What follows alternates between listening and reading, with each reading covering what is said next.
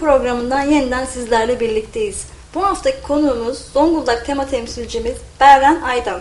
Merhaba Berren Hanım. Nasılsınız? Merhaba, teşekkür ederim. Sizler nasılsınız? Ben de çok teşekkür ederim. Ee, işte kadın ekibi adına teşekkürlerimi sunuyorum. Ee, program davetimizi kabul ettiniz. Bizi evinizde ağırlıyorsunuz şu anda. Evinizdeyiz. Hoş geldiniz Hoş evimize. bulduk. Nasılsınız? İyisiniz? Teşekkürler, çok şükür iyiyim. Ee, Berhan Aydan'ı e, Zonguldak halkı zaten tanıyor. Birçok çalışmalarından e, çevreyle ilgili, doğayla ilgili, kent konseyi, e, geçmişi dolu dolu olan bir insan. Sağ. Halen daha öyle devam etmekte. Ee, bir de Berhan Aydan'ı sizden dinleyebilir miyiz? Kimdir Berhan Aydan? Ne zaman doğmuştur? Ee, neler yapmıştır? Anlatmaya çalışayım. Ee, Zonguldak doğumluyum. Ee, Zonguldaklı bir ailenin çocuğuyum. Ee, anne tarafım Çaycumalı, baba tarafım Bartınlı. Ama babam 3 yaşındayken Zonguldak'a gelip yerleşmişler. Ee, ailenin en büyük kızıyım. Ee, iki kız kardeşim var. Reyhan ve Nazlı. Ne yazık ki Nazlı kardeşimizi kaybettik 21 yaşındayken e, talihsiz olaylar sonucunda. Evet. Ee, çocukluğum Karaelmas Mahallesi'nde geçti. Karaelmas İlkokulu'na gittim. Ee, daha sonra TED Zonguldak Koleji'ne başladım. Ee, işte hazırlık, e, ortaokul Ortaokul, ve lise. liseyi Evet. e, TED Zonguldak Koleji'nde okudum. E, mezun olmaktan da her zaman gurur duyarım. E, TED ailesinin bir bireyi olmaktan her zaman onur duyarım ve bana çok şeyler kazandırdığını düşünüyorum. Evet. Ee, daha sonra 79 1979'da e, liseden mezun oldum ve Ankara Gazi Üniversitesi İktisadi ve İdari Bilimler Fakültesi Uluslararası İlişkiler bölümüne başladım. E, 4 sene sonra okul bitti. Tabii biz ikinci sınıfa geçtiğimizde o ilk sene çok e, malum anarşi dönemleriydi. Çok sıkıntılı bir üniversite hayatıydı. E, yurtta kalıyorduk, yurt şartları öyle. E, şimdiki üniversite e, hayatıyla hiç ilgisi olmayan bir ortamdı. Evet. İkinci sınıfa geçtiğimizde biz e, ihtilal oldu ama o anarşi döneminin en kötü olaylarını biz yaşadık. E, Üçüncü yılında galiba farklı bir üniversite. e, bölüm seçtik. Bölüm, E, bölüm Uluslararası değiştirdik. İlişkiler bölümünü ben seçtim. Ee, ama şu, yani şu anki şeylerimize baktığımızda çalışmalarımıza bu doğa hayranlığınız, e, e, çevreyle ilgili çalışmalarınız, işte e, yani bu uluslararası ilişkiler okuyoruz, iktisadi fakültesi bitiriyoruz e, ama farklı bir Farklı alanda, alanda. çalışmalar yapıyoruz. Yani Evet. bu bu yön buraya nasıl yöneldik? Hayat e, bir şekilde oraya e, getiriyor bazı olaylar, bazı şartlar o şekilde getiriyor. Ben isterseniz devam edeyim o Tamam. e, yaşam öyküsüne. Sonra nasıl başladığımı, Tamam, e, tamam. çevre çalışmalarına oraya geleyim. E, 80 1983 yılında üniversiteden mezun oldum ve aynı yıl sınıf arkadaşım olan eşim Serdar'la evlendim. E, idealim Dışişleri Bakanlığı'ydı. Diplomat olmayı çok istiyordum. Babacım karşı çıkmıştı o zaman. Benim 10 tane çocuğum yok işte sen zannettik hemen dış işlerine gideceğim, dış ülkelere gideceğim. Her biri başka ülkeye gidecek. Ben Göndermek çocuklarımı yanımda isterim falan demişti. Sonrasında onun gönlüne göre oldu. E, Biz evlendikten sonra ilk 5 yıl Ankara'da yaşadık. Orada e, kızım Derya 1986'da dünyaya geldi. Anne oldum.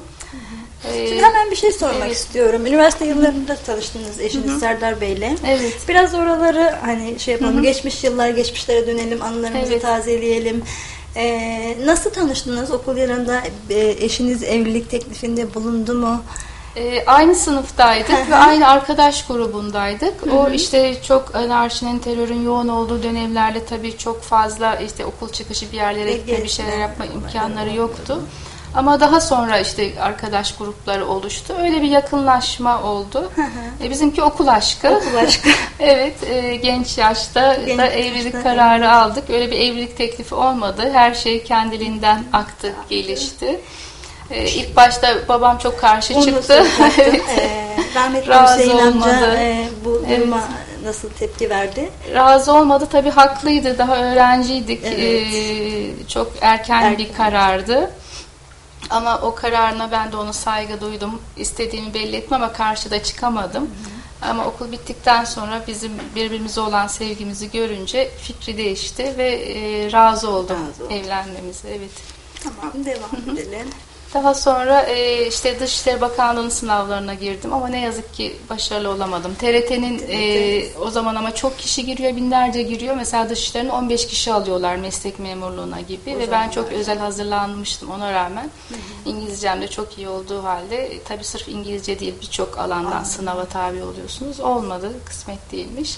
E, TRT'nin program yapımcılığı sınavına e, katıldım. E, onu kazandım ama orada Derya doğmuştu ve beni Erzurum Radyosu'ndan başlatmak istediler. Gidemeyeceğimi söyleyince o da öylece kaldı. Aldı. Daha sonra e, Zonguldak'a geldik evlendikten 5 yıl sonra E, ve burada yörenin ilk görüntüleme merkezinin kuruluş aşamasında Evet Zonguldak'a dönüş. Bulunduk. Dönüşlerin yani e, Evet. Zonguldak sevdası mı?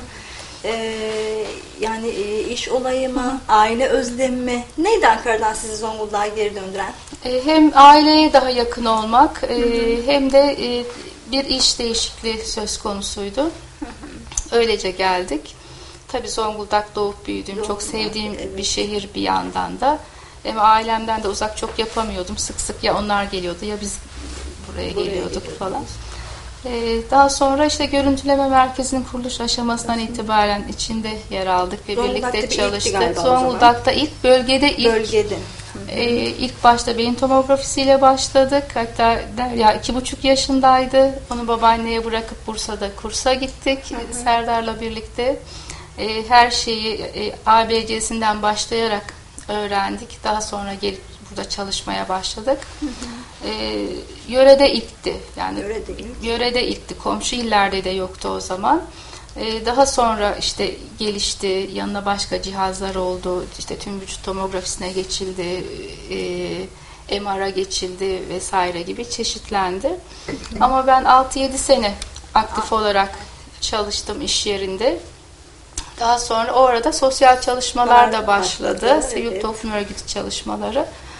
Ve e, işi bırakma kararı aldım bir dönem, e, uzak kaldım ve e, sivil toplum örgütü çalışmalarına ağırlık verdim. Hı hı. Deminki soruya da gelince hani nasıl başladınız, Başladınız, ne oldu diye. evet.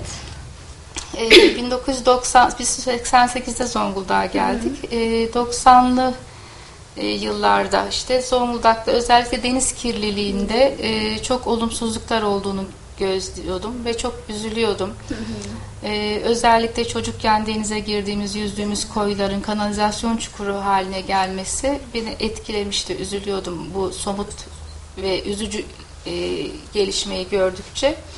Ve bir gün bir dergide bir ilan gördüm. Hatta onu size buraya getirdim.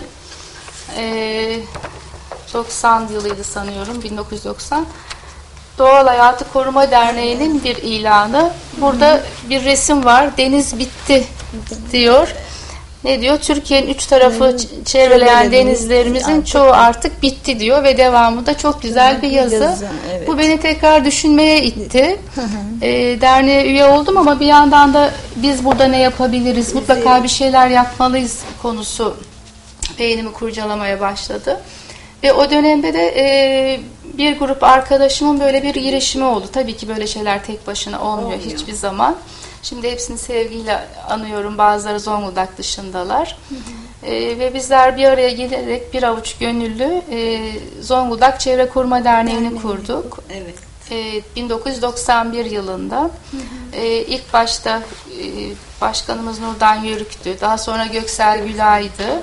O dönemde ben başkan yardımcısı ve basın e, sözcüsüydüm.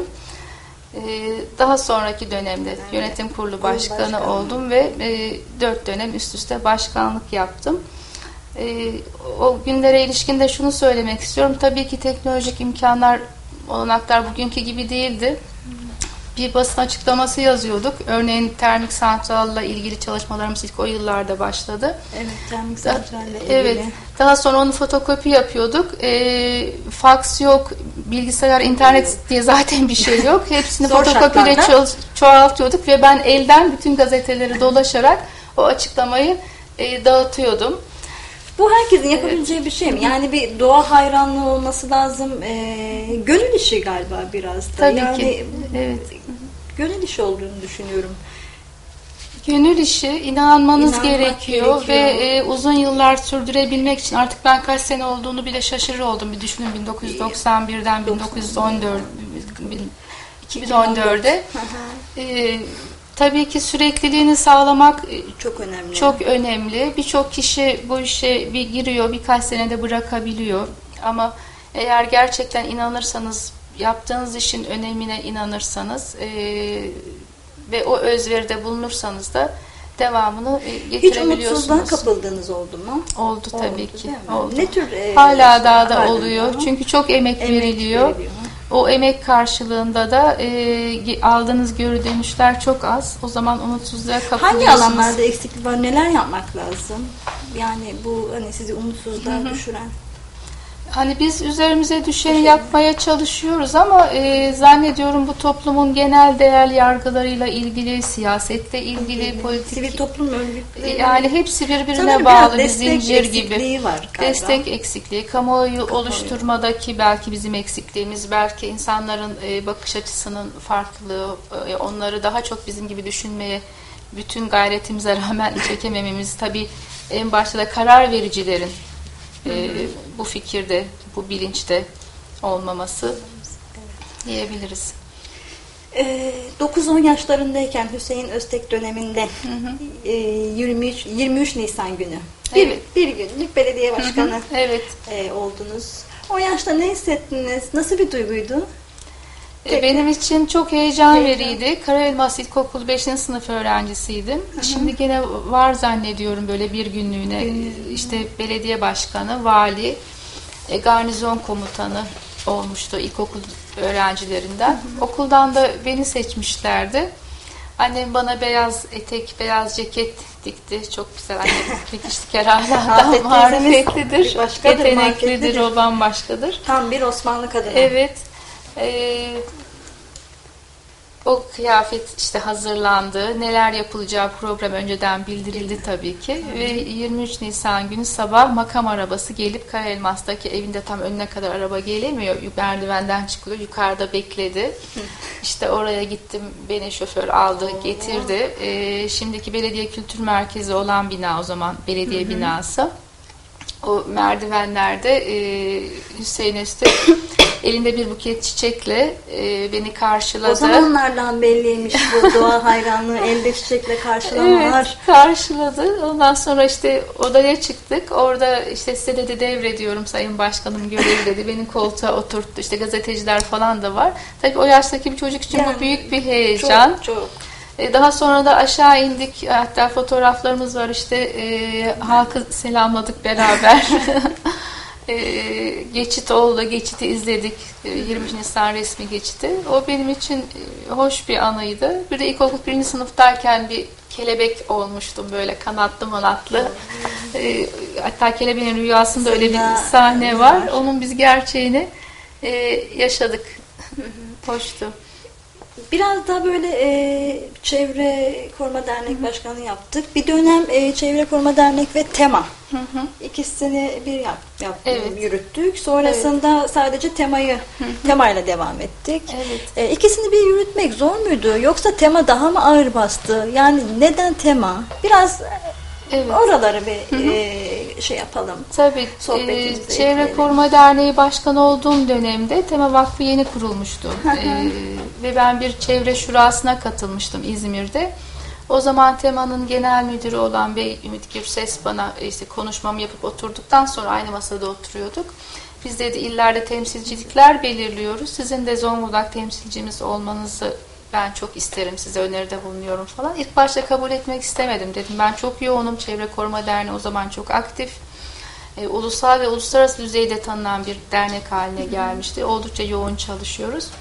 E, ilk başta sıcak bakmadım ama sonra ısrarı neticesinde kabul ettim ve e, birkaç yıl birlikte götürdüm. Neden Berhan Aylan'ı düşünmüşler? O da çok önemli. Yani Bilmiyorum. O konuşmamdan etkilendi herhalde. Çıkıp orada yaptığım çevre şurasına yaptığım kürsüden bir konuşma vardı. Sanırım ondan sonra onda bir izlenim oluştu.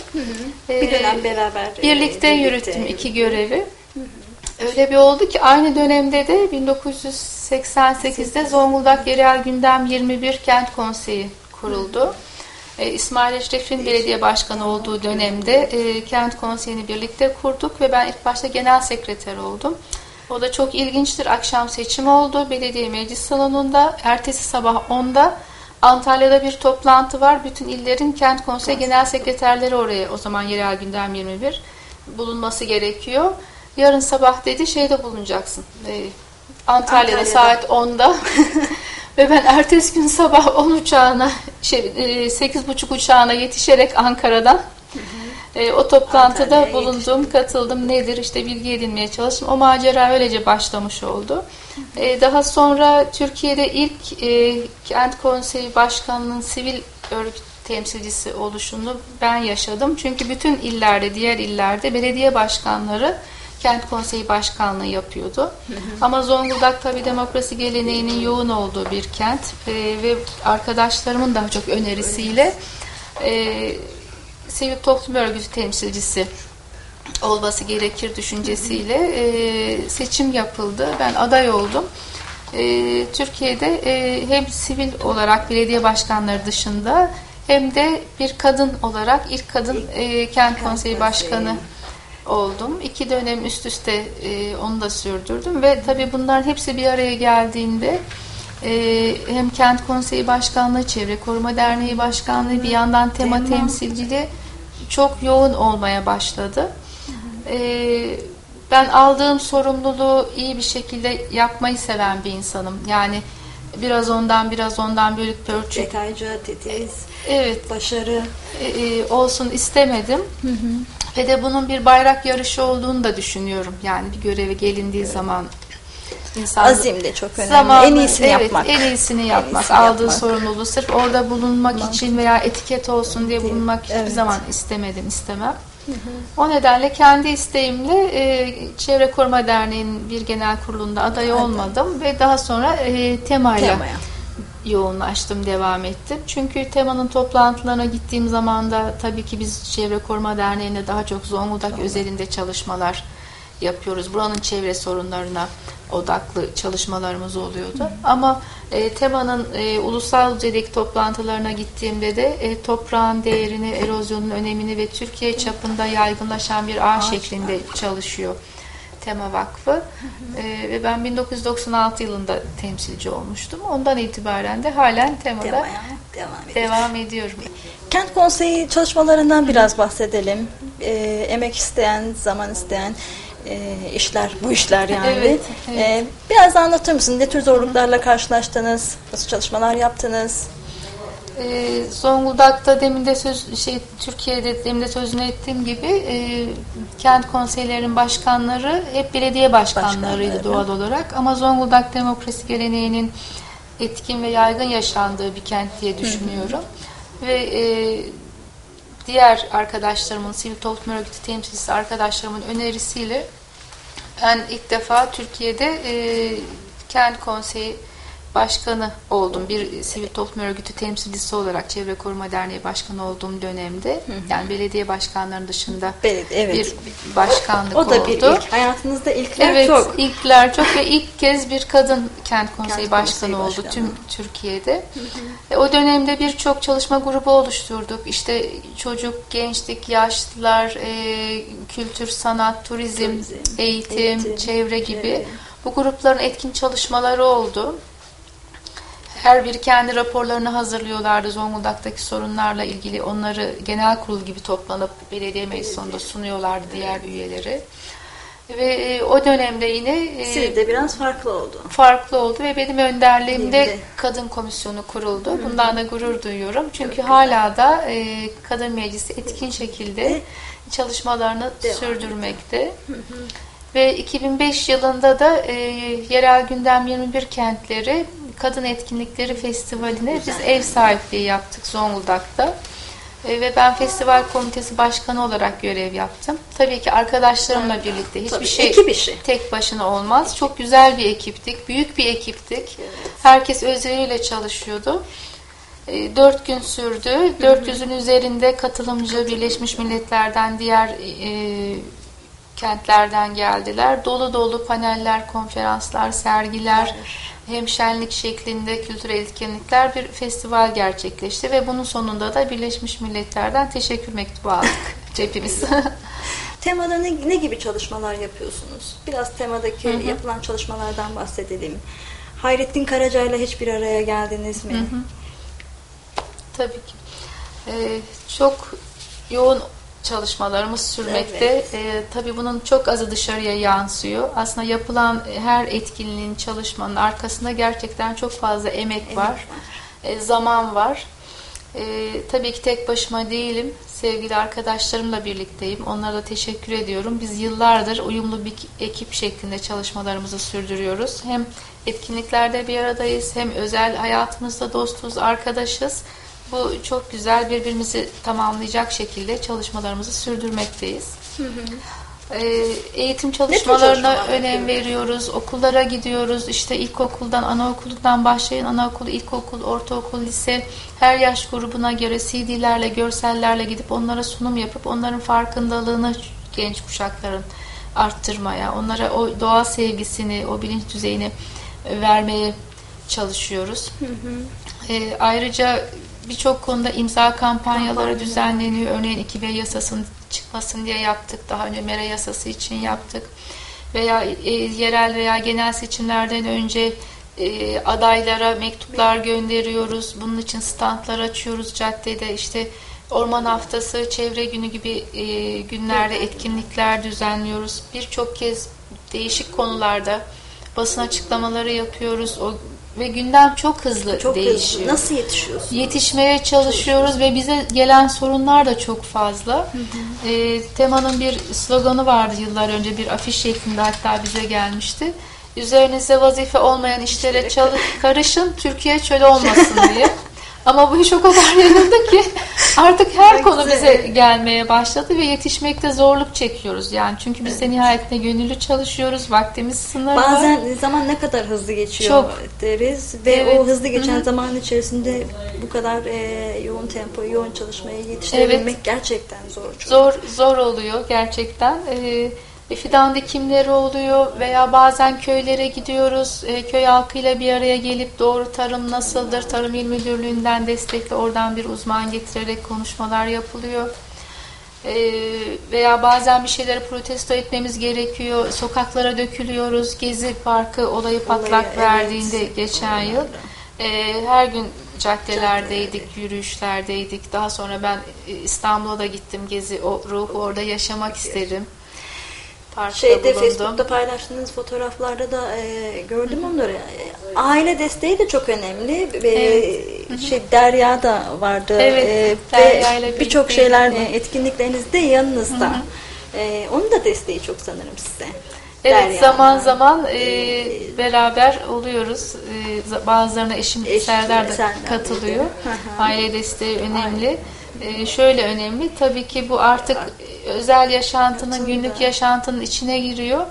İşte evde bir odada her yerde afişler, pankartlar bir şeyler olabiliyor. İşte Bunu nasıl dengeliyorsunuz?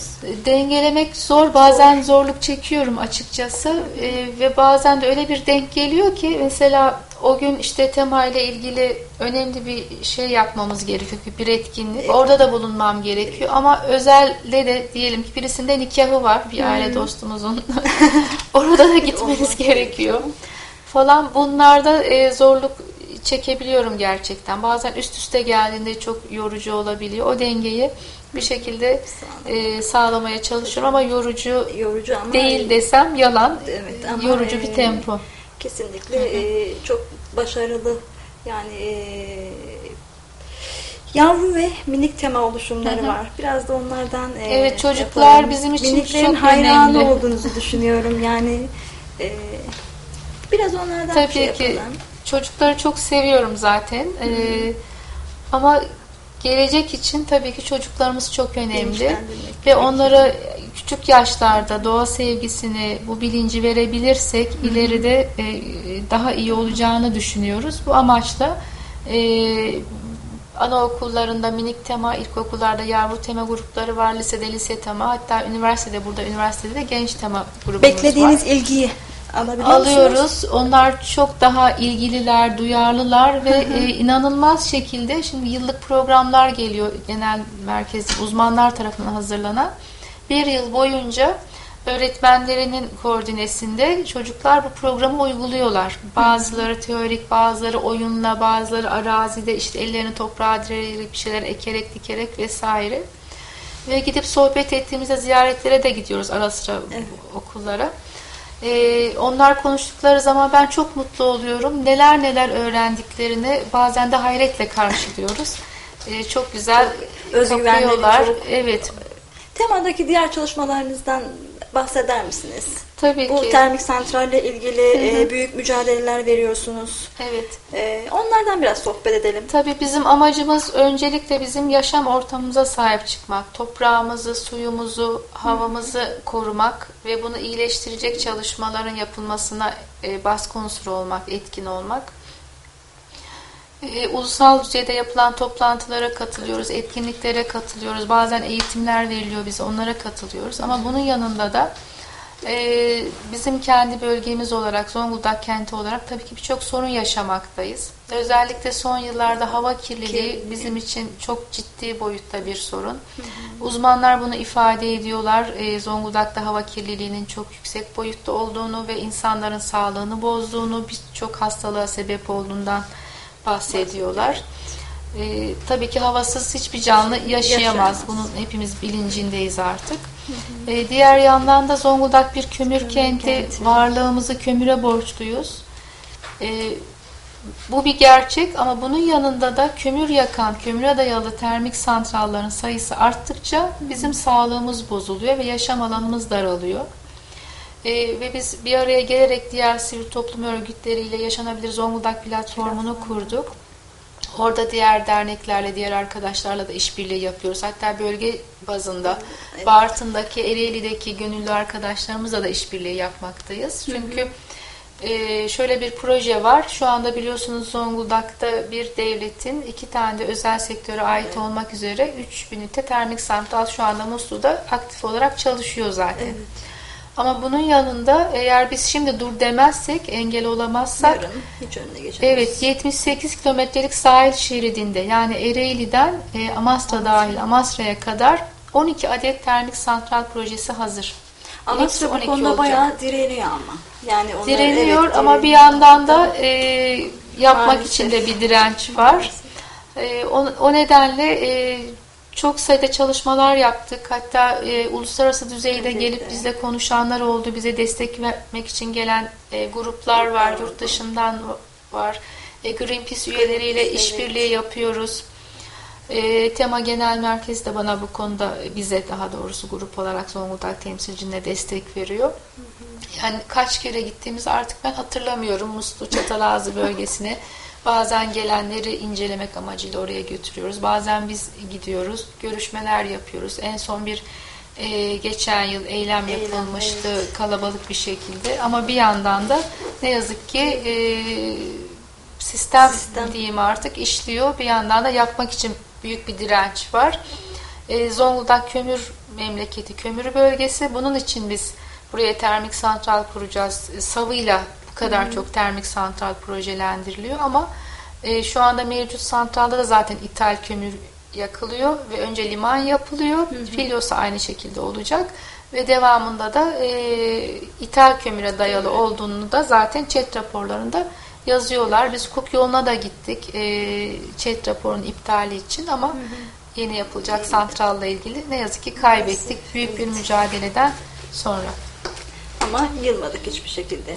Yılmamaya Yani- çalışıyoruz, üzülüyoruz ama Yıllardır e, hava kirliliğiyle mücadele ediyorsunuz. Sabah kalktınız balkonunuzdan şöyle bir dışarı bakıyorsunuz. Denizi görüyorsunuz. Hava kirliliğini görüyorsunuz. Bu kadar mücadele, bu kadar çaba. Ne hissediyorsunuz? Üzülüyor insan. Ee, daha çok akşamüstü daha yoğun oluyor kaloriferlerin yandığı dönemde. Tamam doğal gaz gelecek Zonguldak'a ama o Onu çözüm olmayacak. Evet termik santrallerin hepsi kurulursa e, biz yine e, aynı kirli havayı soluyacağız. Daha da yoğun olarak solumak zorunda Doğalgazın bırakılacağız. gelmesi çok şey yapmaz mı? Yani Biraz biraz, etkileyecek e, ama tamam, eğer bu santrallerin hepsi kurulursa Kurulursa çünkü çok Şey miktarda olmuyor. daha çok kömür ve daha yüksek ısıda yandığı zaman daha zehirli gazlar açığa çıkıyor. Bu bir gerçek. E, tabii ki üzülüyorum. Bunun yanında hala da denizin üzerine baktığımda birçok fotoğraf var. Çektiğim size de verebilirim bunları. Termik santral atıkları kül barajda olmasına rağmen yine deniz yüzeyine gördüğüm zaman bu kadar çalışmadan sonra e, görünmez bir el sanki böyle kalbimi e, sıkıyor gibi hissediyorum zaman zaman. Zonguldak'ı değiştirmek isteseydiniz nereden başlardınız?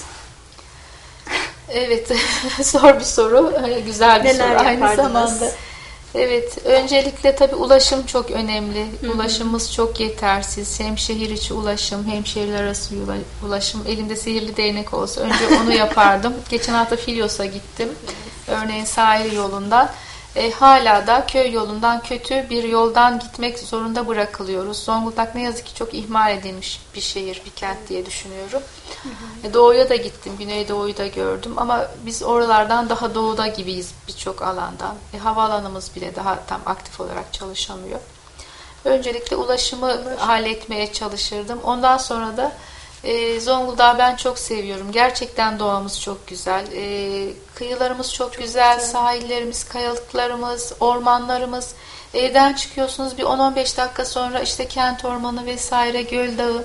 Muhteşem e, doğayla baş başa kalabileceğiniz her mevsimde bize cömertçe güzelliklerini sunan noktalara ulaşabiliyorsunuz. E, ama hala da deniz kirliliğine bir çözüm bulunamadı. Bu kadar güzel bir şehri biz iyi koruyamıyoruz, iyi değerlendiremiyoruz, iyi tanıtamıyoruz aynı zamanda. E, Birçok seyahatim oldu yurt dışına da. İşte herkes akın akın gidiyor Dalmatça kıyıları. İnanın şimdi işte sizle baktık terastan. Evet. Bu Orta Kapuz, işte Tersane, Tersane. oraların kayalıkları, Dalmatça kayalıkları, oranın sahil yapısına o kadar çok benziyor ki. Ama işte bütün mesele onlar çok bilinçliler. Tertemiz, temiz ötesi. Yani ben orada inanamadım. Denizin üzerinde bir tane bir yaprak mı yüzmez, bir toz mu yüzmez? O kadar temiz. E biz de sahillere gidiyorsunuz. Hem çarpık e, kentleşme var.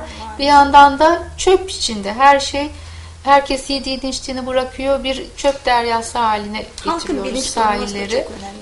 Yani bu kanalizasyonların denize boşaltılmasını engellerdim. Evet. Şehir merkezine daha çok yeşil alan yapardım ve termik yeni termik santrallerin yapılmasını da engellerdim. Siyaset hiç düşündünüz mü? Hayır düşünmedim. Çeşitli Bu öneriler kadar yoğun temponun içinde siyaset düşünme şansım hiç olmadı geldi biliyorsunuz. ama e, siyaset ne yazık ki ülkemizde çok farklı yapılıyor, farklı ortamlar. E, zaten benim yaptığım da bir tür siyaset. Biz siyaset üstü çalışıyoruz. Her partiye eşit mesafede olarak hepsini etkilemeye çalışıyoruz. Hüseyin Şeker'in kızı olmak nasıl bir duygu? Rahmetli Hüseyin amcadan bir bahsedelim, azıcık bir sohbet edelim. Evet. Evet çok güzel Hüseyin bir duygu. deyince, Evet. böyle bir Öyle özel bir evet insanın e, evladı olmak e, tan Yaşamınızı dolayı nasıl etkiledi? tabii ki çok şey kattı. E, şöyle geriye bakıldığımda düşündüğümde e, biz yetişirken hem bir yandan geleneksel aile yapısında yetiştik. İşte büyükler vardı. E, dil dersleri de aldık. Aile büyükleri vardı. E, Bir, bir yandan da işte kolejde okuduk. Modern, bir Modern şekilde de yetiştik. İkisine sen babamın kişiliği de öyleydi zaten. Tabii ki hem canım annemin hem babamın bizlere katkısı çok. Onlara minnettarım. E, onların evlatları olduğum için çok kendimi şanslı sayıyorum tabii ki. E, babam okumaya çok meraklıydı. Sen de biliyorsun. Evet. Ee, küçükken örneğin o zaman çocuk klasik kitapları vardı. Onların serisini bana almıştı. Ve ben ondan görerek okumayı çok sevdim. Ee, ilk kitaplarımı onun varlık yayınlarından okudum. O küçük varlık yayınları işte arkasına yazar 25 kuruş 1 lira gibi hala durur. İşte dünya klasiklerini onun çok erken yaşlarda onun kitaplığından okudum. Ee, yaz tatillerinde de sabah giderken e, bize iki ödev verirdi. akşam gelene kadar bir tane namaz suresi işaretleyip kitap bırakılır. O namaz suresi ezberlenecek. Bir de gazeteden bir köşe yazısı okuyacağım. Akşam onunla tartışacağız. Ödevler yapılıyor. Ödevler. Tabii akşam bazen ezberleyemiyorduk soruları. Sormayı unutursa çok seviniyorduk. Ertesi gün o da diyordu ki ben mahsus sormuyordum. Hani siz Yani. iyice çalışın ertesine daha iyi ezberleyin diye. Tabii hayata bakış açısı çok farklı, Farklı. rengarenk bir kişilik, dolu dolu yaşamayı seven, doğayı çok seven, doğa sevgisini ben annemden, babamdan aldım. Aile büyüklerimiz de hep doğayı seven insanlardı. Dedeler, anneanneler, babaanneler. Ee, hafta sonu oldu mu çocukluğumuzda mutlaka bir yerlere gidilecek. İşte bir sahile gidilecek ama birkaç aile bir arada veya bir orman içine pikniğe gidilecek. Ee, bunları hep çocukluğumuzda yaşadık. Ee, tabii bizim istediğimiz her şeyi de hemen böyle yerine getirmeye çalışan bir babaydı. Bunun yanında da bizden aynı şeyi istiyordu tabii. Onun bir Tabii, isteği olduğu yani. zaman yerine gelmesini. Ama bizi hiçbir zaman da şımartmadı. Belki ekonomik şartlarımız iyiydi, şanslıydık ama hiçbir zaman işte e, marka düşkünü olmadık. Ben de kardeşim de hani israfa yönelik yaşamadık. E, tasarruflu olmak öğretildi.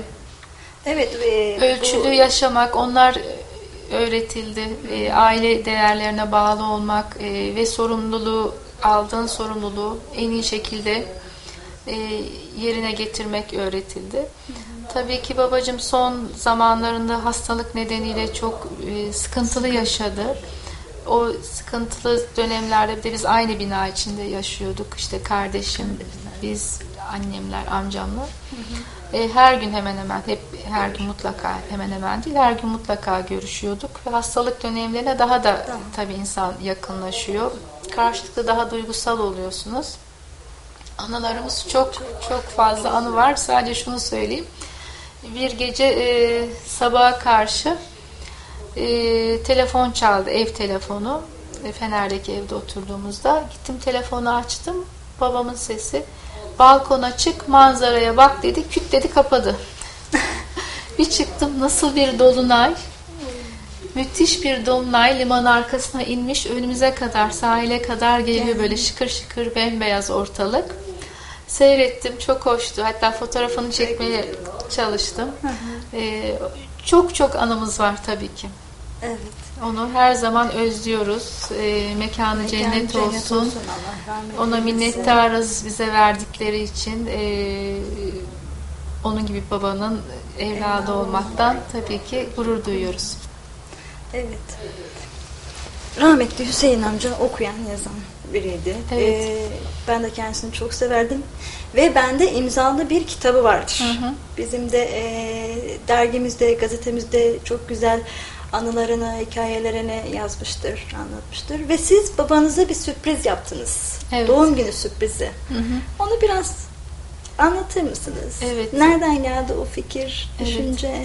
Çok güzel bir şey. Ee, bir baba için ve bir evlat için. Sağ olun. Ee, babam pusulada yazdı Evet, yıllarca. Ee, son yıllarda da e, beraber yazar olduk. Şöyle o söylüyordu. Ben laptopumu alıp yanına çıkıyorum. O söylüyor. Ben yazıyorum. O şekilde işte düzeltmelerini yapıyorum. İşte sonra Namık abiye gidiyor. Bayrama gidiyor bazen falan böyle bir şeyden evet. sonra yayınlanıyor. Ee, ve bir iki kere söylemiştim. Babacığım e, bunları bir kitap haline getirsen, getirsek falan diye. İstemedi. Ee, ben ölünce yaparsınız siz sonra falan dedi böyle. Eyvah. Sonra e, bir yandan işte kızım Derya da köşe yazıyordu. Önce Evet. aslında Derya'ya Derya. bir doğum günü sürprizi yapmak şeklinde kitap fikri aklıma geldi. Ama sonra işte babamın bu hastalık nedeniyle tabii insan hissediyor zamanın daraldığını. E, ona bir sürpriz yapmak istedim. E, Nisan ayı başında buna karar verdim. Nisan, yo, Nisan sonu gibi karar verdim. Haziran'da babalar günü. Babalar günü dedim ben yetiştireyim gazetede çıkan yazılarında. Babalar günü? Hı, Babalar tamam. günüydü. Doğum- 2010 babalar yılının babalar günü sürprizi olarak. E, o şekilde başladı. İşte e, Pusula ailesiyle Ailesiyle, konuştum bana yardımcı olun diye. Sağ olsunlar hem Bayram, Atilla, Ali Rıza hepsi e, destek verdiler. İşte yazıları çıkarttık. Ben aile fotoğraflarına daldım. Onlardan taradım işte bir yandan. Bunları da babamdan gizli yapıyorum. Tabii annemlerin evine gidip fotoğrafları döküyorum bir yandan birlikte ayıklıyoruz. Ee, işte bir ön söz yazmaya çalıştım vesaire. Kapak fotoğrafını bayramla birlikte seçtik nasıl olacak kompozisyon falan ama büyük bir heyecanla bu işleri yaptık. Ee, babam da babalar gününü hiç böyle hani doğum günü, babalar günü, anneler günü böyle günleri sevmezdi ve böyle günlerde de bir şey alınmasına da hep karşıydı zaten. Ee, işte o gün babalar günü olduğu gün bize kahvaltıya davet Evet. ettik. Balkonda Haziran'da işte hava güzel. Bir de misafirleri var Antalya'da. Kitabın bir tanesi kitap ama baskıdan geldi. Tabii benim için büyük heyecan. Bir tanesini paketledim. Ondan sonra işte kahvaltı bitince hediye. Hediye. Eline verdim. Verdiğim an şöyle bir aldı. Dedi ki "Ee, ben size bana bir şey almayın demiyor muyum dedi ilk Tepki başta. bu. Bir, ilk başta bir tepki. Hı hı. Ee, daha sonra açtı ve çok şaşırdı tabii. Kapakta işte şeker tadında anılar, Hüseyin Evet. Şeker, kendi fotoğrafı. Ee, onun için bir şok anıydı. Sonradan da bunu çok güzel zaten yazıya dökmüş. Ee, nasıl şaşırdığını, nasıl mutlu olduğunu. Ee, ilk imzaları hemen bize attı. İşte tabii annem, e, eşim Serdar, kardeşim Reyhan onlar da hep beraber.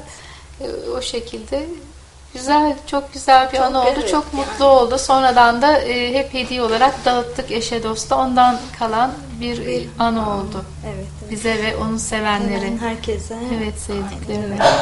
Ee, biraz da genç mimarımızdan, Derya'dan bahsedelim mi? Evet. Genç bir mimar annesiyim. Ne Evet. mutlu bana. Ee, bir tane çocuğumuz var. Allah bir bağışlasın. Derya'mız var. Ee, e, çok başarılı bir öğrencilik dönemi geçirdi hep. Burada TED Koleji. Daha sonra İstanbul Teknik Üniversitesi Mimarlık Fakültesinden mezun oldu. Ee, şu anda da serbest mimar olarak çalışıyor. O da okumayı, yazmayı çok e, seven bir genç. Güzel de bir üslubu var, akıcı bir Çok, dili var çok, yazdığı evet, zaman.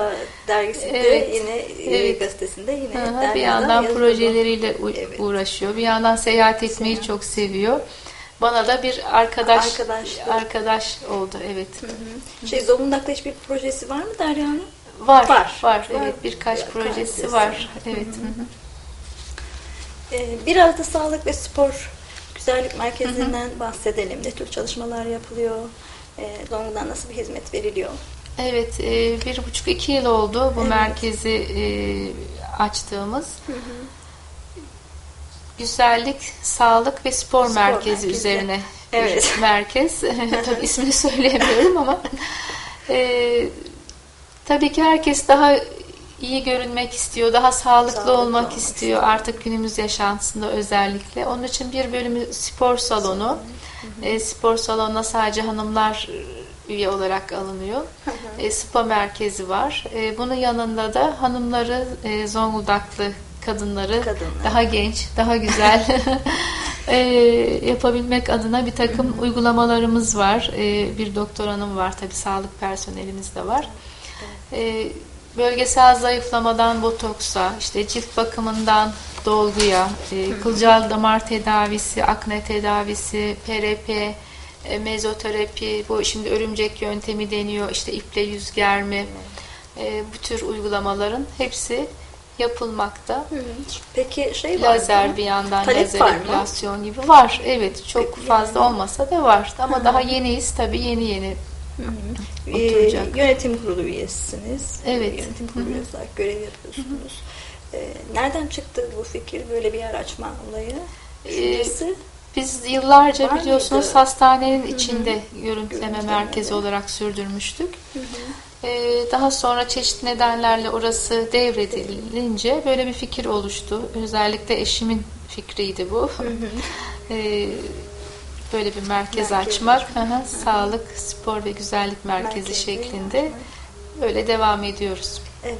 Ben de günümün yarısını orada geçiriyorum. İşte dışarıda bir Dışarıda. etkinlik olmadığı zaman. E, Hobilerimiz nelerdir? Hobilerimiz, nelerden hoşlanırız?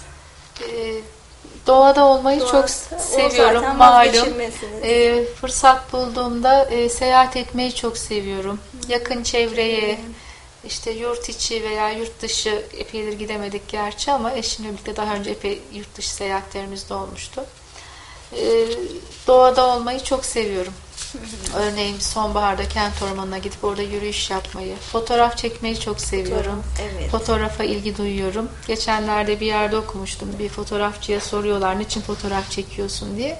E, bakmayı sevdiğim şeylere tekrar bakmamı sağladığı için fotoğraf çekiyorum diyor. Benimki de öyle herhalde birçok insanda olduğu gibi. Tabii ki bu konuda bir iddiam yok. Usta değilim. Ama e, sevdiğim şeyleri, görüntüleri fotoğraflamayı, saklamayı e, seviyorum. E, seyahat etmeyi seviyorum. Açık havada bazı şeyler yapıyoruz ailecek. Örneğin yelken son 3-4 yıldır ailecek. Ailecek, Eşim evet. Serdar, Derya ve ben.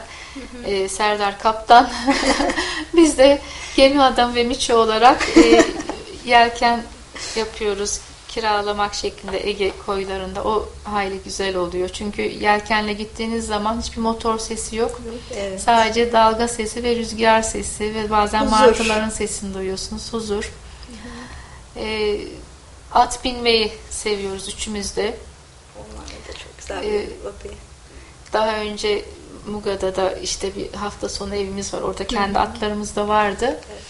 Ee, Şu anda o atlar orada değil ama işte Daday Kastamonu tarafına gidip orada bir çiftlikte en son geçen sene bayramda binmiştik. Çünkü o da doğada olmak için bir araç ve atlarla yakın olmak da çok keyifli bir duygu. Bütünleşiyorsunuz çünkü. Hem doğayı hissediyorsunuz. Bunun dışında işte çiçekler, benim Çiçekler. için vazgeçilmez. Onun için Mugada'daki evi çok seviyorum. Orada bahçeyle uğraşmayı ama burada da bir apartman dairesi olmasına rağmen bu bizim çılgın projemiz bir teras bahçe oluşturduk. E, çiçeksiz bir yaşam düşünemiyorum yani ortam Doğaya ev. zaman Evet, hemen yeni bir doğa. çiçeklerle uğraşmayı, onları dikmeyi, işte temizlemeyi, sulamayı vesaire onlarla vakit geçirmeyi seviyorum. E, tabii ki arkadaşlarımla, dostlarımla da bir araya Gelmek. getirip ge- ge- gelip onlarla hoş zaman geçirmek veya aileyle e, vakit geçirmeyi de tabii ki seviyorum. Zonguldak sizin için ne ifade ediyor? Zonguldak tabii yuva. Bizim doğup büyüdüğümüz, sevdiğimiz bir şehir. Ee, yuvamız. Ee, gönül verdik. Ee, bir yandan da tabii ki üzülüyorum. Ee, çok daha iyi olmasını istediğim için. Ee, bazen çok da daralabiliyoruz. Nihayetinde küçük bir şehir. İşte hep aynı ortamlarda, aynı insanlarla bir aradasınız. Kendinizi bir dışarı atma ihtiyacı hissediyorsunuz. Ee, ama bir yere gittiğinizde de birkaç gün sonra bu sefer Zonguldak'ı bir şekilde özleyip geliyorsunuz. Bartın? Bartın'da tabi baba tarafından Evet. oranın da bir e, yeri var. Bartın'ı da çok severim. E, çünkü babaanneler, anneanneler oralı, Büyükler. dedem, evet büyükler. Ee, 2015 yılına e, sayılı günler kaldı. Neler söylemek istersiniz? Ee, bu yeni yıl ağaçları, Noel ağaçları, onlarla ilgili de bir Tabii şey artık e, zannediyorum o bilinç de biraz değişmeye başladı. Daha çok bu Avrupa ülkelerinde aslında bir gelenekti. Yavaş yavaş bize de geldi. İşte Noel ağacı, canlı çam ağacının kesilip satılması, süslenmesi. E, o ağacın dikildikten sonra bir fidan haline gelip hele ağaç olması için doğada bir 15-20 yıl gerekiyor. E, biz ki insan ömrüne kadar. İnsan ömrünün yanında düşündüğünüzde evet e, çok yazık oluyor. E, sadece bir merak, bir özenti belki de bizim toplumumuz için bir heves. Tamam bir dekorasyon yapıyoruz, bir belki bir neşe katıyor. Ama artık yapay ağaçlar da satılıyor. Oyuncakçılarda bile var. Böyle bir süsleme Mesaj yapmak isteyen insan evet. Yani yılbaşında şöyle diyorum çam kesmeyin çam dikin. Çam kesmeyelim, çam kesmeyin çam dikin diyoruz evet. Hayrettin Karaca'yla hiçbir araya geldiniz mi? Tabii ki birçok kez bir araya geldik. Ee, temsilciliğe ilk başladığım yıllardan beri e, koordinasyon toplantıları yapılır. Yılda bir veya iki kere ulusal düzeyde bütün illerden katılımcılar gelir. Orada bir araya geliriz. Bizi imtihan eder. Müthiş bir hafızası vardır. Bize gelen kitapları okuduk mu? Hatta okumakla kalmayıp altını çizdik mi? Ee, bunları sorar, imtihan eder. Şurada ne yazıyordu, bunu okudunuz mu gibi. Ee, Zonguldak'a iki kez geldi. Ee, biri 1996 yılındaydı. Burada bir konferans organizasyonu yaptık. Ee, daha sonra da ben bir dönem e, Batı Karadeniz tema bölge sorumlusu olmuştum. Komşu illerle de organizasyonları tamamlamıştım. O dönemde geldi bir toplantımıza katıldı. Daha sonraki yıllarda da üniversiteye bir konferans için geldiğinde yine birlikte olduk ve devamında bir köy toplantısı istemişti. Zonguldak Bartın arasında bir köye gittik. Köy halkıyla sohbet etti. Hatta bizim buradaki evimize uğradı. Ee, Kısa süreli bir e, misafirliği oldu. Tabii ki bizim örnek aldığımız bir insan. Bu yaşta hala da e, sağlık sorunu olmasına rağmen e, büyük bir gayretle, özveriyle çalışmalarını sürdürüyor, okuyor, araştırıyor ve bütün e, görevlerinden de feragat etti. Aslında yönetim kurulu başkanlığını sürdürebilir de Tema Vakfı'nda. E, o görevleri hep gençlere devretti. Şu anda Gençlere sadece e, onursal başkan olarak devam etmekte. Onunla ilgili tabii ki çok hoş birçok anım var. Bir tanesini Ee, dinleyelim. bir tanesinde işte böyle bir kala- kalabalık yine temsilciler var. İşte yanına yaklaştım. Tabii herkes yanına gidip sohbet etmiştim. Merhaba dedim işte. Berran ben Zonguldak dedim. Allah Allah bunadın mı ben dedi. Ben seni tabii ki hatırlıyorum. Sen dedi Çelik Manolyasın dedi. Çelik Manolya. evet öyle bir şey söyledi. Zonguldak temsilcisin. Sen Çelik Manolya mısın bizim dedi. Onu unutmuyorum. Bir de e, İsmet Metin'in vali olduğu dönemde Zonguldak'a işte konferans için geldiğinde yanına gittik ziyaret ettik. Sohbet ediliyor, konuşuluyor falan. E, döndü vali bey dedi ki biz de hep hanımlarız gruptaki arkadaşlarla. Bunların dedi böyle hanım hanım oturduklarına bakmayın dedi. Böyle hanım hanım otururlar ama çevreyle ilgili, doğa korumayla ilgili bir sorun oldu. Hepsi canavar kesimler diye. E, Çok da esprili tabii ki, çok bilgili, müthiş okuyan, e, donanımlı bir insan. E, Şu anda e, bütün zaten e, görevlerin hepsini bıraktı. Sadece e, gönüllü çalışmalarını sürdürmekte. En son geçen yıl e, İstanbul'daki bir toplantıda yine bir aradaydık. Ee, almış olduğunuz ödüller, biraz ödüllerimizden bahsedelim. Evet. Tabii Hatırlayabildiklerimiz o kadar çok ödül evet, var ki. e, ne mutlu bana ki epey Evet. var. Tabii bu ödüllerin e, birçoğu sadece bana değil, e, temsilcilik Temsil. olarak burada grup olarak birlikte, ekibimizle birlikte, arkadaşlarımla, sevgili arkadaşlarımla birlikte çalıştığımız için bize verilen bir ödül. Ama temsilci ben olduğum için tabii orada benim ismim yazıyor veya Zonguldak temsilciliği yazıyor. E, bunlardan e, biri temada 10. hizmet yılımı doldurduğum için o yılda verilmişti. Şimdi onları çok geçtik tabii de. E, bir altın sertifikam var. E, Nihat Gökyiğit, Fahrettin Karaca imzalı. Daha sonra Meşe kampanyasına katkımızdan dolayı bir ödülümüz var. Bunun yanında 2000 yılında biz Zonguldak temsilciliği olarak e, bütün Türkiye'de her yıl en iyi çalışan 3 kente veya kasabaya ödül verilir. O zaman bize böyle bir ödül layık görülmüştü ve İstanbul'da Lütfü Kırdar Kongre Salonu'nda arkadaşlarımızla birlikte gidip hem işte e, temanın ileri gelenleri Hayrettin Bey, Nihat Bey onların elinden hem Orman Bakanımızın elinden bu ödülü almıştık. E, katıldığım birçok e, eğitim programında verilenler var veya e, konuşmacı olarak katıldığım e, toplantılar var. Atatürkçü Düşünce Derneği gibi, Rotary Kulüp gibi, Çağdaş Yaşam Destekleme Derneği gibi e, gruplara gittiğimde yaptığım konferanslar, eğitim çalışmaları sonunda verilen teşekkür belgeleri var. E, çevreyle ilgili tabii aldığım birçok e, te- teşekkür mektubu da var ulusal, uluslararası düzeyde. Ama benim için yeri ayrı olan bir tanesi e, lise e, yıllarındayken e, 19 Mayıs nedeniyle Gençlik ve Spor Bakanlığı tarafından düzenlenen Kurtuluş Savaşı anı derleme yarışmasına katılmıştım. E, Zonguldak Çaycuma'da Çayır Köyü'nden Ahmet Tekin ismini de unutmuyorum. isimli bir gazi ile söyleşi yapmıştım. E, ondan mansiyon Mansiyon. almıştım. Hem para ödülü vardı hem e, plaket gelmişti. Hala onu saklıyorum. O benim için e, çok özeldir. Ve böylece de ben yazı yazmaya ilgi duydum ve daha sonra e, Zonguldak Kömür Havzası'nın geçmiş ve bugün diye bir araştırma yapmıştım üniversitedeyken ve Zonguldak'ta Haber Gazetesi'nde bu e, yayınlandı. Ve şimdi bugün nereye geldik? Bu gelip benimle röportaj yapıyorsunuz. Evet. Bu çok onur verici bir şey benim açımdan. Ee, ve üniversite yıllarımda ben bir dizi röportaj yapmışım. Yine Haber Gazetesi'ne yayınlanmış. Ee, 81 veya 82 yılı sanıyorum. E, Zonguldak'ın bayan yöneticileri diye orada e, 5-6 kişiyle bir dizi röportaj yapmışım. O gazeteleri de hala miydi? olarak e, saklıyorum. Her şey var. Biraz denizlerimizden bahsedelim. Tersane koyundan bahsedelim. Evet, deniz benim için çok özel. e, deniz olmayan yerde yaşayamam gibi düşünüyorum. E, yaz kış fark etmiyor. Mutlaka denizi görmem Denizi görmek. gerekiyor. Hatta uzaktan görmek değil de sahile, deniz kenarına kadar gitmeyi çok seviyorum. Kumsalda olmayı, işte o çakılın üzerinde olmayı, kumun üzerinde olmayı. Kum değil de daha çok çakıl alışkanlığı var. Orada olmayı, o kokusunu, o dalga sesini hissetmeyi e, çok seviyorum. E, işte demin de bahsettiğim gibi Zonguldak'taki deniz kirliliği beni tetikleyerek bu çevreyle ilgili çalışmalara başlamıştık yıllar içinde. E, şimdi sıkça yine e, tersane koyuna gidiyoruz yazın özellikle.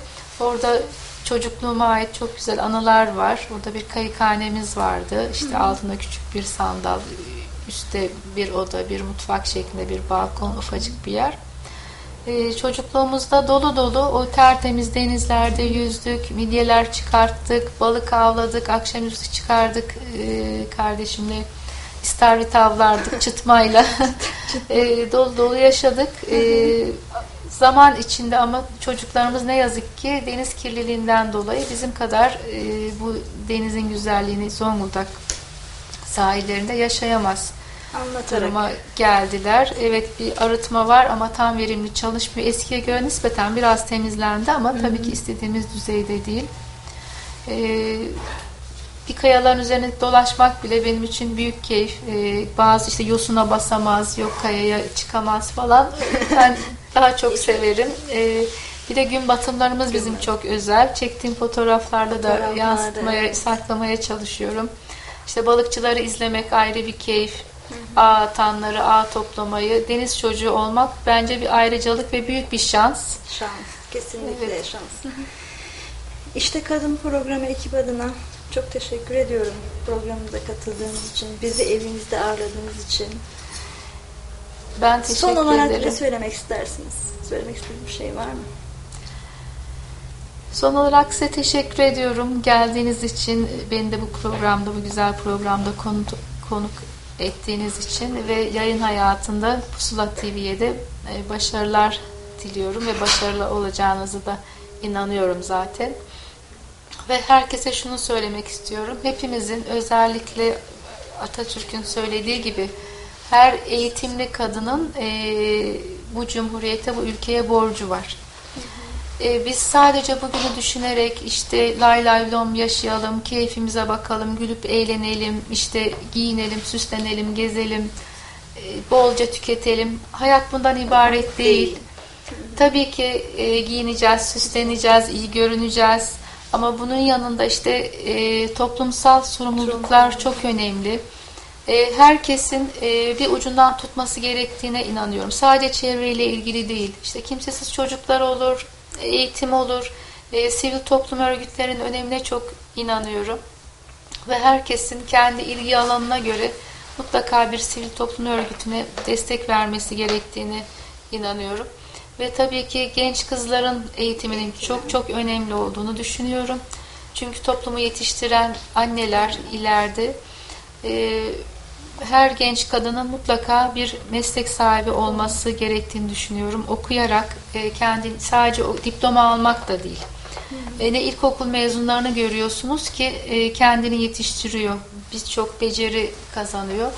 Mutlaka kadınların e, toplumda kendini yetiştirecek şekilde başkalarından beklemeden atılımda bulunmalarını istiyorum. E, çünkü toplumu geliştiren de kadınlardır. E, bütün devrimlere de baktığınızda devrimlerde bizim Kurtuluş Savaşımızda da büyük devrimlerde de dünyadaki birçok ülkelerde kadınların etkisi çok fazladır.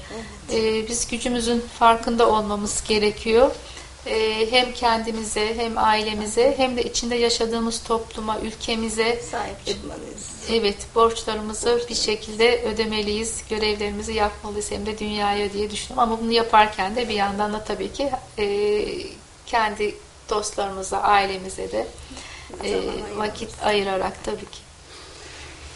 Bir İşte Kadın programının daha sonuna geldik. Berran Aydan'a çok teşekkür ediyoruz bu keyifli sohbeti için, vermiş olduğu değerli bilgiler için. Ee, haftaya yeniden yeni bir konuğumuzla sizlerle birlikte olacağız. Hoşçakalın.